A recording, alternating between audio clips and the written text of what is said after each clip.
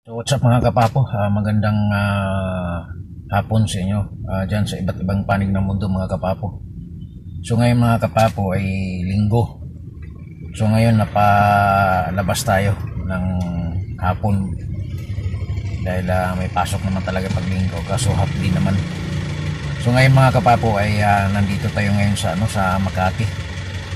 Ah, So wala, wala rin tayong ka mapaparadahan at ah, wala rin tayong pangbayad sa ano sa parking. So nakikiparada muna tayo dito sa harap ng bangko.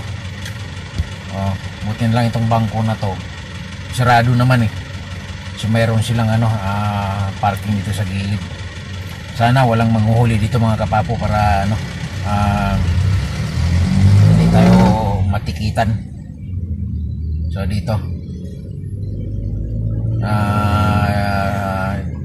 dito kasi sa Makati mga kapapo na, napakahirap ang mga ano ang mga paradahan nito ang mamahal. Alam nyo na yung mga nakaraang vlog eh mahal talaga ang per hour dito. So ngayon makikiparada lang muna tayo dito. Dito sa bandang tagiliran mga kapapo.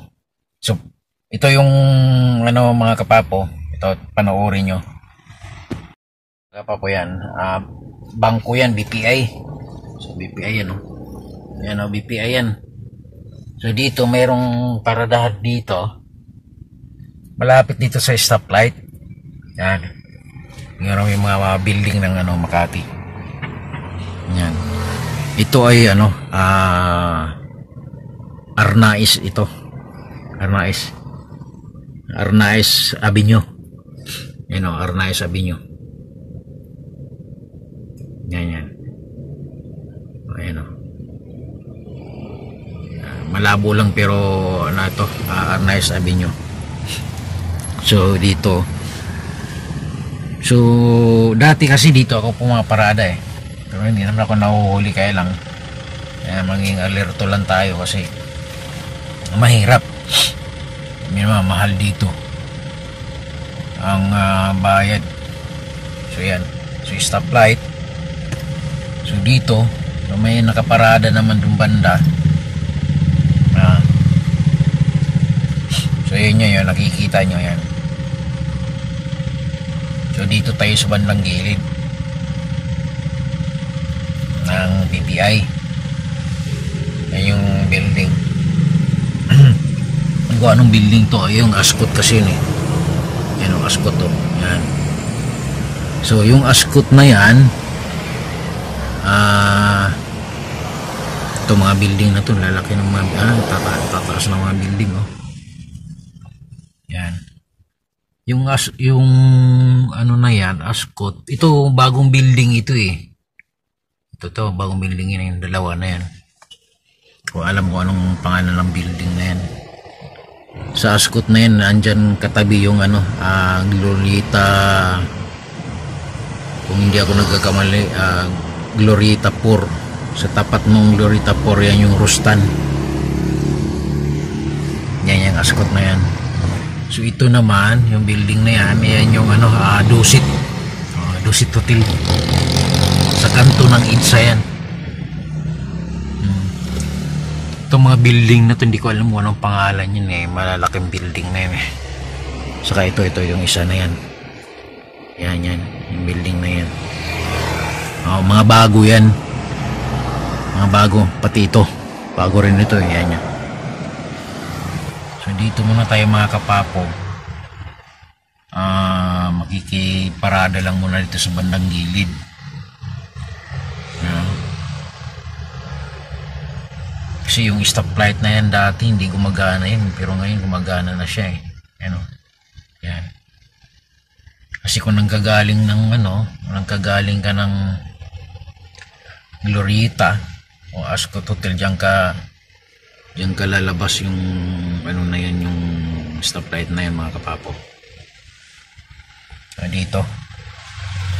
Uh, makiki ano muna ako rito? Makiki parada sa bangko na yan bangko yan. Bangko yan. BPI BPI BPI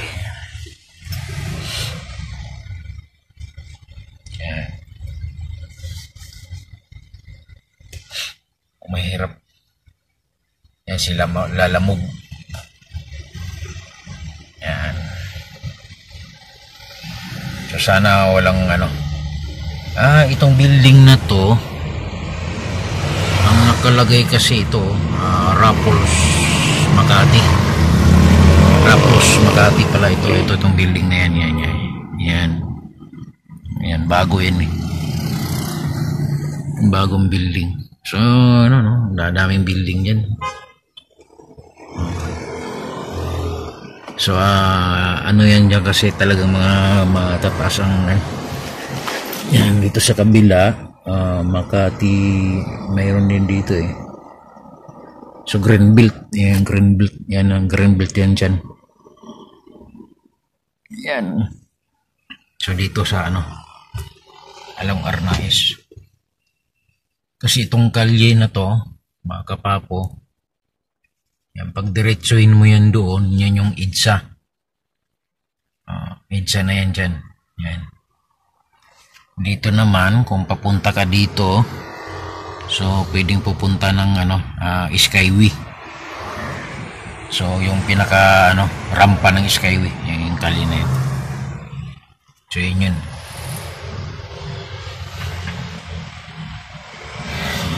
Nandito lang tayo sa loob kasi ng sasakyan kaya tayo pwedeng bumaba. Hmm. Baka mamaya eh mahuhuli tayo. Alis pag sinabi na alis di alis tayo. So magikiusap na lang. So mga kapapo hanggang sa ngayon kasi mga kapapo hindi pa tumatawag sila. So inihintay natin yung tawag nila. Sana mas maaga para ano, ah, makaaga, maaga tayo makauwi. So kagabi kasi inabot kami ng alas 11 na ng gabi mga kapapo. Diba? So ganun kahirap ang buhay ng isang driver mga kapapo. So, ah, malayo yung pinuntahan kasi namin. Nagpunta kaming Cavite. So mayroon kasing meeting doon si boss. ah, so inabot ng ganung oras. So ang akala ko ay pauwi na kami. So mayroon pa pala kaming dinaanan na ibang ano ibang ka-meeting niya. So ganun, inabot tayo ng mga ganung oras mga kapapo. Alas 11 na ng gabi. So buti na lang at ah, hindi naman tayo nagising ng maaga. Oo. so medyo tanghali-tanghali na. So, muli mga kapapo, at kung ikaw may baguhan sa channel, ah, sana at ah, wag mo sanang kalimutan na mag-like, and i-share mo, ah, comment, at ah, pakipindot mo na rin ang notification bell para updated ka sa mga susunod kong video mga kapapo. So muli, maraming salamat sa iyong suporta mga kapapo. Bye-bye!